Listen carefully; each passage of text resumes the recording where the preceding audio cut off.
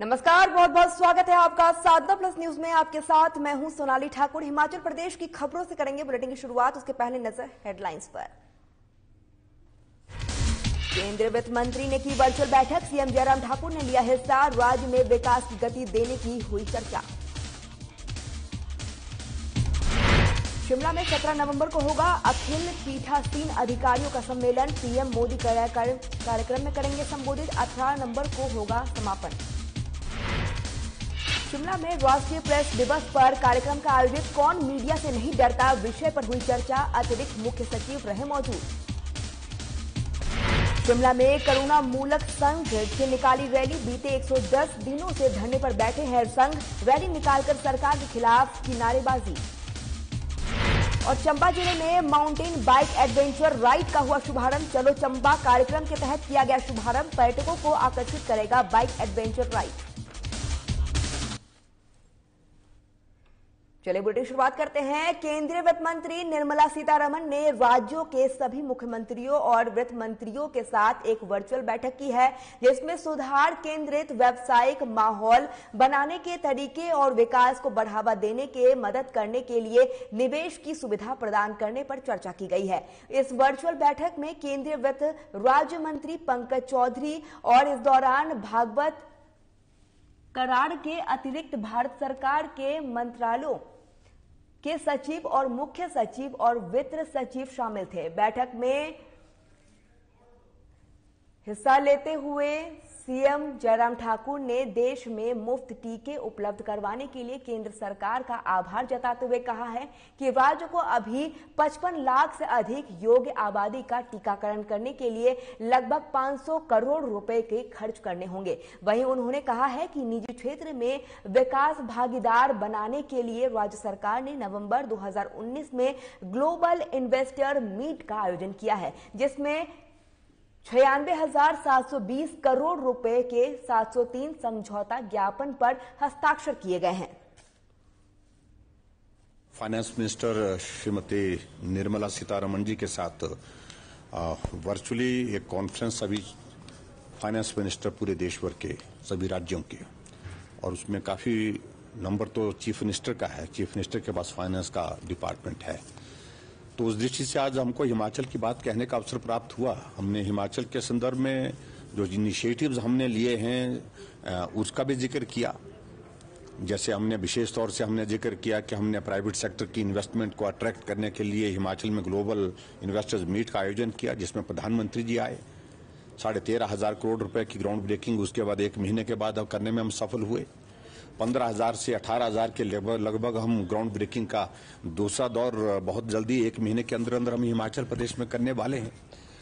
और ऐसे initiative Covid के उस दौरान हमने लिए और उसमें ईज ऑफ़ डूइंग में जहाँ हिमाचल प्रदेश सतारवें स्थान पर था, उससे हट करके अब, उससे बढ़कर ऊपर आकर के अब हिमाचल जो है वो सातवें स्थान पर आ गया है।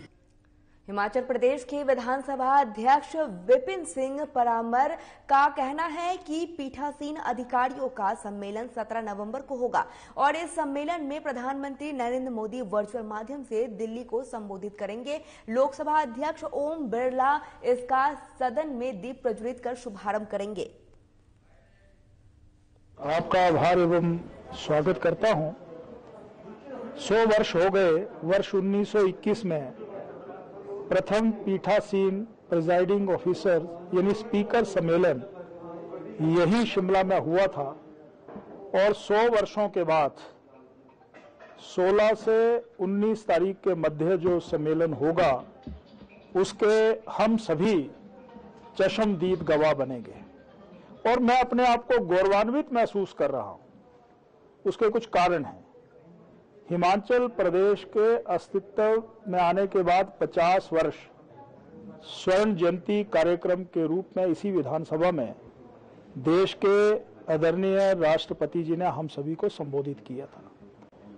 देश की आज़ादी के 75 वर्ष हो गए, अमृत महोत्सव के रूप में कार्यक्रमों का आयोजन हिमाचल शिमला पूरे देश में हो रहा है। यानी तीन प्रकार के, इस प्रकार के इवेंट करने का मौका हमें प्राप्त हुआ है। शिमला में 100 साल पूरे होने पर हिमाचल प्रदेश विधानसभा में अखिल भारतीय पीठासीन अधिकारियों का सातवां सम्मेलन होने जा रहा है। 16 से 19 नवंबर तक चलने वाले इस सम्मेलन में लोकसभा अध्यक्ष ओम बिरला मुख्य अतिथि के रूप में शिरकत करेंगे।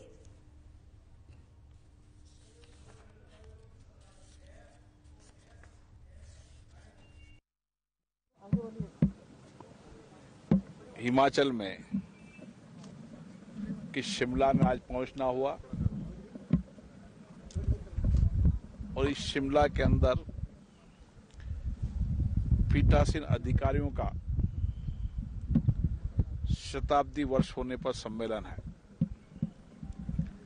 1921 के बाद फिर 2021 में यहाँ पीठासीन अधिकारी बैठकर चर्चा करेंगे, संवाद करेंगे। किस तरीके से लोकतंत्र और सशक्त हो? विधायिका संस्थाएँ जनता के प्रति और जवाबदेही हो? और इन संस्थाओं के माध्यम से किस तरीके से देश और प्रदेश की जनता का कल्याण हो? इस पर व्यापक विचार विमर्श होगा। मुझे आशा है शताब्दी वर्ष का यह सम्मेलन निर्णायक भी होगा और आने वाले समय के अंदर लोकतांत्रिक प्रक्रियाओं को परपाटियों को, परंपराओं को और सशक्त करेगा और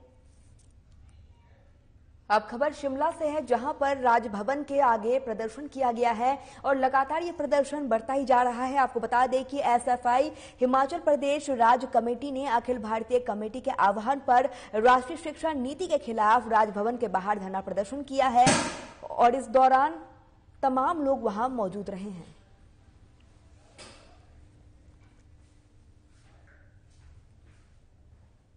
सारे मुद्दे हैं। हम दो तीन मुद्दों को लेकर पहुँचे। पहला जो मुद्दा, पूरे देश के अंदर राष्ट्रीय शिक्षा नीति को लागू कर दिया गया है और हमारा जो प्रदेश है, वो पहला ऐसा राज्य बना है जिसने सबसे पहले हमने राष्ट्रीय शिक्षा नीति को अडॉप्ट किया आज पूरा प्रदेश के अंदर राष्ट्रीय शिक्षा नीति है उसके परिणाम है। कहीं स्कूल तोड़े जा रहे हैं कहीं स्कूलों को बंद किया जा रहा है। अभी लास्ट ईयर ही जो है तकरीबन हिमाचल प्रदेश के अंदर पाँच सौ स्कूलों को जो है प्राइवेट स्कूलों के साथ मर्ज कर दिया गया राष्ट्रीय शिक्षा नीति के तहत जो छात्रों का पढ़ने का अधिकार है उसको पूरी तरह से छीनने की जो है कोशिश प्रदेश सरकार और केंद्र सरकार द्वारा की जा रही है जिसका हम कड़े शब्दों में विरोध करते हैं। शिक्षा हमारा अधिकार है और हर एक व्यक्ति को हर एक छात्र को पढ़ने का अधिकार राष्ट्रीय शिक्षा नीति को वापस लिया जाए इसको इम्प्लीमेंट ना किया जाए, जो हमारा सिस्टम है जैसे हमारी शिक्षा चली है, उसे उस तरह से चलने दिया जाए। और उसे फेरबदल करना है तो उसके जो गवर्नमेंट स्कूल है, उनको मज़बूत करो, उनको संख्या में खोला जाए। टीचर जो जहाँ नहीं है, वहाँ टीचर की सुविधा दी जाए। प्राइवेटाइजेशन को बंद कर दिया जाए, जिस तरह से पूरे प्रदेश के अंदर प्राइवेटाइजेशन बढ़ रहा है।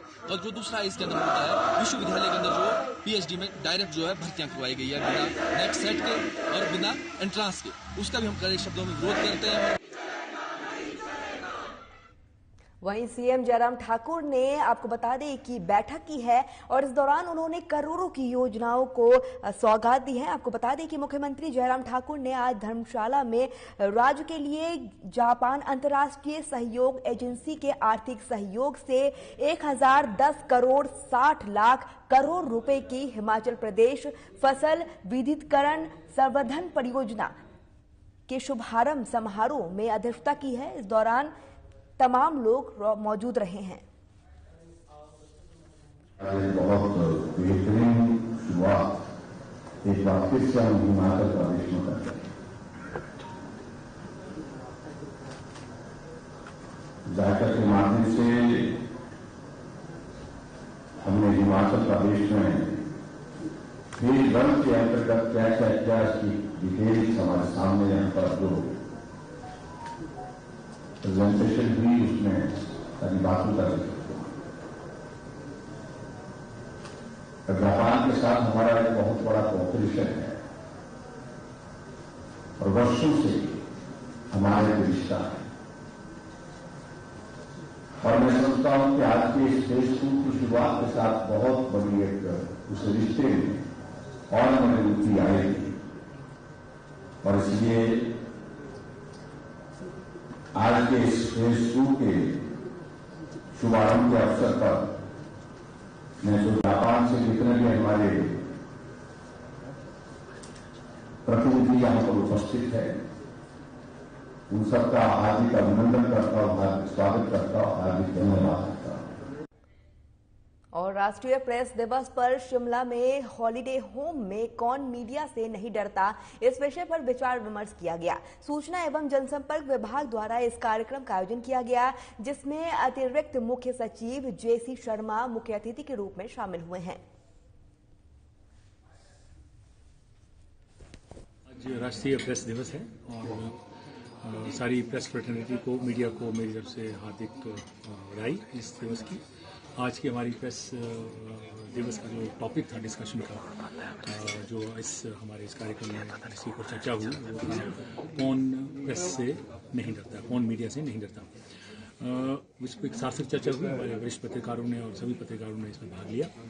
देखिए, मीडिया और प्रेस का रोल जो है एक प्रजातांत्रिक व्यवस्था में बहुत ही अहम, बहुत ही महत्वपूर्ण है। प्रजातंत्र का, प्रजातांत्रिक व्यवस्था का चौथा और बहुत महत्वपूर्ण स्तंभ मीडिया को माना गया है। और राइटली सो क्योंकि सरकार के बारे में, सरकार के कार्यक्रमों के बारे में, आम जनता के बारे में दूसरी ओर राजधानी शिमला में 110 दिनों से धरने पर बैठे करुणा मूलक संघ के मंगलवार को अपनी मांगों को लेकर शेर पंजाब के सीटीओ तक रैली निकाली है। हमें एक आश्वासन मिला कि जल्द ही करोड़ मुल्क नौकरी बहाली के लिए जो है एक प्रयास हम सरकार जो प्रयास कर रही है, लेकिन करुणा मुल्क संघ हमेशा एक ही डिमांड करते हैं वन टाइम सेटलमेंट के तहत जो है एक साथ नियुक्तियाँ दी जाएँ। और जब तक ये नोटिफिकेशन एक सरकार की वेबसाइट से नहीं निकलता है, तब तक हम करुणा मुल्क नौकरी बहाली के लिए संघर्षरत रहेंगे। चंबा ज़िले में पर्यटक को बढ़ावा देने के उद्देश्य से चलो चंबा कार्यक्रम के तहत दहलोजी में पर्यटकों को आकर्षित करने के लिए mountain bike adventure ride uh, Dalhousie 2021 का शुभारंभ किया गया है। राज्य सरकार द्वारा ये वर्ष मनाया जा रहा है। जिला प्रशासन की ओर से स्वर्णिम हिमाचल के तहत चलो चंबा का एक अभियान चलाया जा रहा है जिसमें कि चंबा के पर्यटन को बढ़ावा देने के लिए बहुत से कार्यक्रमों का जो है माननीय जिलाधीश महोदय द्वारा अनुमोदन किया गया है। उसी के तहत ही माउंटेन टेरेन बाइकिंग का जो आज ये कार्यक्रम किया जा रहा है, उसमें करीब 30 पार्टिसिपेंट्स जो हैं वो आउटसाइड स्टेट से हैं, जिसमें कि पंजाब है, मुंबई है और हमारे जिला चंबा के भी तीस पार्टिसिपेंट्स हैं जो इसमें भाग लें। चलिए हिमाचल प्रदेश की खबरों में फ़िलहाल इतना ही। नमस्कार।